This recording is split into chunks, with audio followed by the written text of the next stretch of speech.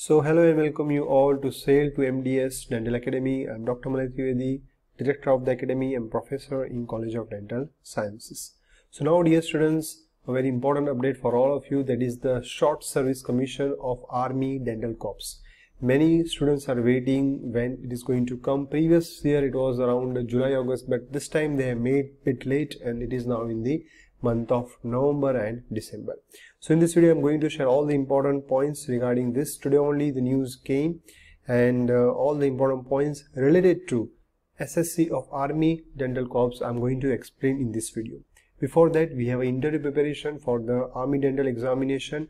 In that I'm going to provide you 10 videos of past uh, questions. More than 3 hours lectures are there.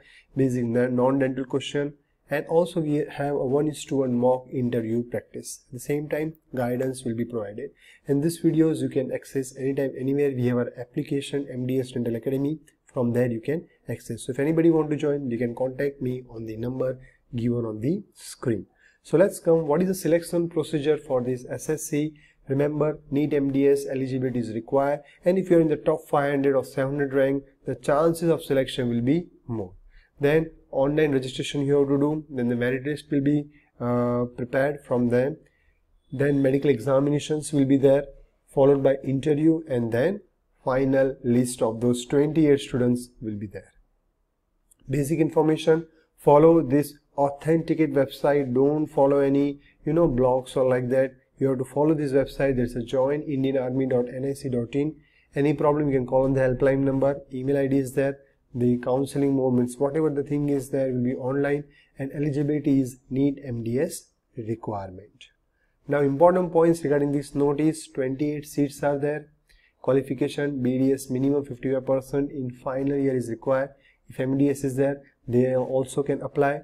Your internship should be completed before 30th june 2023 you should have a permanent degree certificate which is valid up to 31st december 2023 that is of the State Dental Council. Age limit is 21 to 45 years. The form filling is going to start from 18th November to 17 December. So dear students, you have around 8 to 10 days to gather all your documents. And remember, don't fill the form on first day only, fill on 1920 and try to fill before, uh, you know, 30th of November. Now what all documents you needed, you require your uh, uh, certificate of proof of age, the NEET MDS 2023 admit card and scorecard, final year BDS mark sheet, your provisional and per or permanent degree certificate, whichever you have, you can put. Then your compulsory rotatory internship completion certificate, your permanent or provisional state dental council registration certificate, your proof of nationality, anything you can provide. Your Aadhaar card is required, or if any change is there in your name or something like that, it is needed. find dear aspirants and form filling important guidelines. When you open you have to fill all the uh, things given on the screen. Then the user information will be opened up and then fill your personal information contact details your bds NEET mds if at mds is there that also you can fill. You have to upload all your documents and at the end the payment details will be there. Dear students remember you have good amount of 10 days to gather all the documents because army people are very strict. So please rectify one to two times before filling all your information.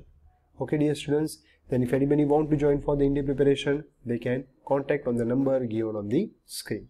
So that was all from my side dear students. If anybody want any help from me you can contact. The things are given on your screen.